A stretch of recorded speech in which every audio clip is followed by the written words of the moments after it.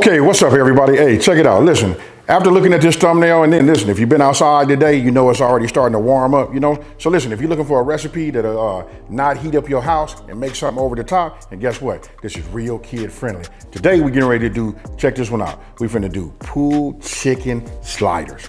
Let's get it. Okay, folks, so look, now we, what we're gonna do right now is just go over some of these ingredients, right? You can see, okay, so starting off, you see I got a cast iron skillet. I got buns right there. You should know what that mean already. That mean I'm getting ready to toast them buns, right? So I got an assortment of, uh, you know, seasonings right there. Those are everything on the side. And then, of course, we're gonna be doing it. And you know, what's gonna be the star? That's our crock pot. Now, don't trip. The full ingredient list is on my website, which is smoking and grilling with ab.com, and that's W-I-T-A-B.com. Okay, folks, so look, I really didn't, uh, you know, show you guys this. Listen, and I'm gonna go ahead and do this. I'm gonna go ahead and change my gloves and all of that. But you see this right here? Like they leave some skin. If you look underneath the bottom under here, sometimes you find a little fat. Don't worry, that's what we're gonna use. We're gonna use that for flavor, right? So what I'm gonna do is, I'm gonna take these. They've already been cleaned, by the way. You know, I already washed them and did all of that. I'm gonna set these to the side. Let me get my gloves. You know what I mean? A new set of gloves, and then we finna go ahead and grate some onions. All right, so look, first thing I'm gonna do is, let's get this uh, this onion grated, right? So I'm only gonna need about a quarter cup. So I'll just set this over here like this. You see this little layer right here? I wanna get rid of this last little layer. You know what I mean? It's like super thin anyway. Takes off all of that, right? So I'll put this in the trash. Put this over here. I think I'm gonna use this in, all right? Now, using this box grater, right? Obviously, that's large, that's super fine, and that's more in the middle. Now, the reason we doing the grating, why? Because I tell you guys all the time, listen, we grate small for flavor, right? Larger for texture, right? But seeing how it's gonna be in this crock pot for a minute, this right here is gonna be real nice, folks. You know what I mean? This is all probably gonna disintegrate. You know what I mean? We're gonna probably do it for about five hours. You know what I mean? But look at that right there. Now we only wanna get about a quarter cut. It's probably gonna take all of the uh, the complete onion just to probably get that or close to it.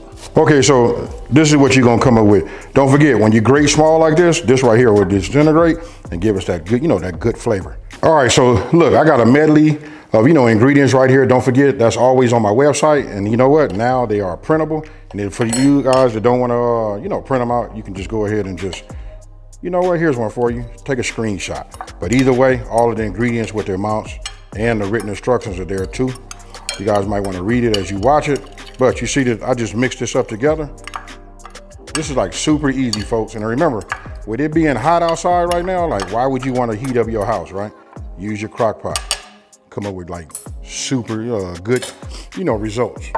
Now, chicken. Now we just go ahead and put this on here like this. Use it all, folks. That's a lot of chicken in there. And you know, we got a season. Go ahead and get you whatever you're gonna use to, you know, mix it all up. Actually, I'm gonna get in here with my hand. I'm doing this for you guys, you know what I mean? Because uh, the food police be out there, you know, talking. I got it. I'm running through these gloves. You know what? Sometimes it's easier to just use your hand. You know what I mean? Just wash your hands.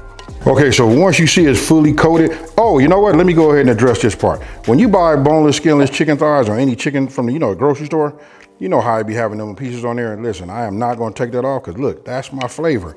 Don't worry, I got a way. You guys gonna like what I do because we're gonna separate all that fat from the chicken, you know, them cooked chicken juices along with this, you know, the seasoning. And this is what you wanna have right here. You see that right there? Now we in the game. Okay, so now that we seasoned our chicken, right? Now we just dump this inside. And what I'm thinking is calling this like a dump and go, right? But you can see, look at the color on that. That's a well-seasoned job right there. All right, now, remember this? We had them onions. Let's go ahead and put them onions in there. Remember, that's grated onions, folks. And I know I ain't said nothing yet, but don't forget, we gotta have that, you know, hot soapy water, right? I'm just giving this a little mix. You know what I mean? Not to do too much. Okay, so after I mix the grated, you know, onion on there, right? I'm gonna be using my barbecue sauce. Here it is right here, right? Look, I'm just showing you this right here because I've already taken it out. I measured it out because we need about three quarters cup, right? So I'm gonna go ahead and just take this, use my spatula, you know what I mean? Because you know it's gonna be thick, right? So when you take it out, you wanna get everything. If you measured out three quarters of a cup, if you leave all that residue on there, you, you know what? That means you didn't get it all out. So I like to get it all, right? and I reserve some, late, you know, for later. Now, I'm not finna, you know, spread this all over. Just lightly do it. I'm not finna tumble it or nothing like that. Cause listen, the heat for five hours is gonna melt all of this down, get everything real viable, and it's gonna start working on that chicken, right? So that's all you need to do. I'm gonna put this lid on here. Now we're getting ready to set the temperature. Okay, so look, this is what we're doing. We hit the power, that's high cook. We're gonna go with low, then we're gonna go for five hours, right? So I'm gonna hit my time up. And one cool thing about this crock pot right here, listen, when I'm done, it sets itself to low, you know, just to really like warm, and it goes from there, right? So I hit start, and I'll see you guys in about five hours. Okay, so look, I only got a couple of more minutes before my timer goes off on my, you know, my crock pot, right? So what I'm getting ready to do is I'm getting ready to go ahead and brown, you know, my buns. You guys don't have to do that. A lot of times when you go to the restaurants or whatever, they don't do it. I'm gonna be using this Duke's mayo. I know we can go ahead and get that debate going, like who has the best Dukes, Hellmann's, best foods. You know what I mean? Uh, you guys let me know. You know, so I just put a little light layer on here. You know what I mean? Uh, the more you put on here, the more it kind of like steams and softens up the bun. Bun, it's up to you guys how you like it you know, so let me finish this. I'm heating up my cast iron right now. Okay, so look, let me let me show you guys something. When I put my, let me do it this way. You know, sometimes when you put your bun in there, it kind of like domes up and you'll get the edges done, you know, nice and crispy and brown, but not just the center. So listen, I have a burger press. This is a great weight, weighs about three pounds. You can put this right over the top and I'm gonna show you guys what I mean, right? So I'm gonna do it like this just to keep it simple right? We'll put it like that. And then listen, you can always just put this right here on the top like that and voila. And if I be quiet, you can kind of like hear it starting to like, you know, like sizzle a little bit. I don't know if you guys are catching that, but you can put this right on the top and this will get the whole flat, you know, keep your bottom bun and your top bun nice and flat and get it brown perfectly. Okay, so we'll go ahead and check them. That's what we want to have. Let's look at that one. Yes, sir. Almost look like the McDonald's cheeseburger, huh? All right, so now I'll do these other two. And then we just put this right here on the top and let them work. Okay, and then when you get done, they should all look like about this, however you want them to go. But listen, that's what we want. I guess I could have went. You just want to toast your buns. All right, let me set this off to the side. My timer went off. Now it's time to go ahead and pull the chicken out. Okay, so look, now we're gonna go ahead and open this up. Right, look at that right there. Now we can just move this around here. You're gonna see a little fat over here on the top. That's okay. And before I shred, ooh, I don't wanna like beat it up. You know what? Cause I wanna take it out and I'm gonna show you what we're gonna do with it. Now we're gonna go ahead and remove the chicken, right? The reason I got a plate, cause listen, it's gonna drip some. That's fine. We want to get all of that. You know what I mean? We're to put it all back anyway. But what we're doing now is just the flavor from the chicken, right? And then the barbecue sauce and then all of the seasoning, that's all in here that has been marinating and been cooking for five hours together, right?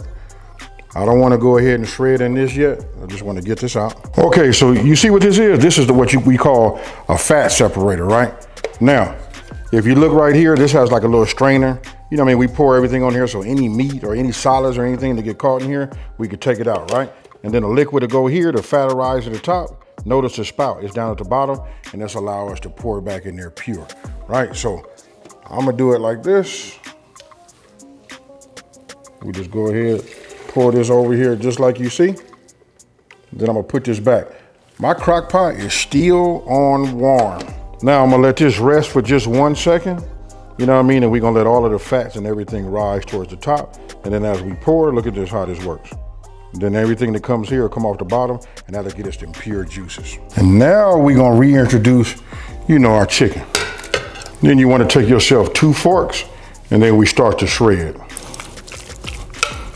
So after five hours, dark meat, look at how this shreds. Oh my goodness. And to be honest with you, I would put this out for everybody to make their own, you know, sandwiches together. You know what I mean? So I would probably like just use this, the actual what we cooked it in, you know, the pot, and just put them out here. But you guys can see and get the gist of it right here. Look at that. Oh my goodness. And then once you have it shredded down to your desired, you know, shred. The reason I say that, because some people like it to be a little bit more chunky. You know what I mean? Uh, this is about like the way I like for it to look. Like, look at this right here. You see that right there? That's cool right there. Now, oh man, it's nice and soft. You know, then I check, make sure no pieces of, you know, no big chunky pieces in there. Now, remember we saved, you know, some of that sauce or juice that it had made, right? It, it serves a purpose. That's what we're gonna do. Now, this is all of the, I guess we just call that the incidental stuff that's like on the top, right? I'll set this off over here to the side. I'm gonna remove my stopper. And as you let it sit up, all of the fats and everything kind of like just, you know, rises to the top. I don't know if you guys can see that right now, but you can see it has a layer, right? So everything in here is pure. So what I do is now I just pour a little bit of this in here just to make it a little bit more, you know, tasteful, right? Without all of the fat. You guys got it. Now, according to the recipe, right, we had to reserve some barbecue sauce. So I'm gonna just stick this here. And now I'm gonna add a little bit here. Okay, so look, I give me some pickles. I made myself some corn, you know, some coleslaw. And now it's time for me to go ahead and to assemble. Now you guys do it however you would like to. It really isn't no right way or no wrong way to do these. It depends on how big you want them to be. You know I mean? I have a tendency to making things huge, folks. You know what I mean? So I'll put that there. Go in here, get myself a little bit of this coleslaw, put this right here on top. And then I don't know about y'all, but I love pickles. You know what I mean? You guys let me know down in the comment section below, what type of pickles do you like? You like dill or do you like them to be sweet, like bread and butter? Bread and butter is my favorite, folks. Then I put this on the top like that, and there you have it. I'll lift this up right now so you guys can see it. Look at that. But I'm gonna put that one right there. We finna make one more.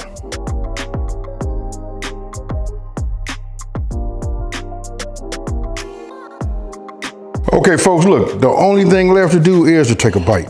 You know what I mean? So I'm just finna go in here and dig right in, right? Cheers, y'all.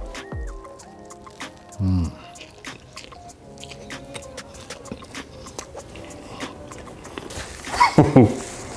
hey, that right there is fire, folks. Listen, you're looking for something easy to make, huge on flavor. You know what I mean? We made it inside the kitchen. We didn't heat up, you know, using our oven, using your crock pot. It's almost like really like a dump and go. Just a few ingredients, budget friendly.